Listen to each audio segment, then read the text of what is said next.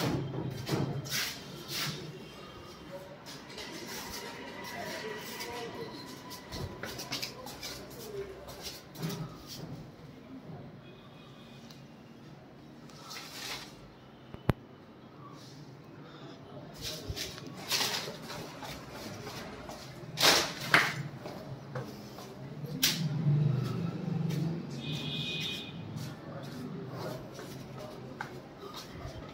चालीस है देवेंद्र नगर है भैया आप ये अपन ये बिजली बिल नहीं पढ़ते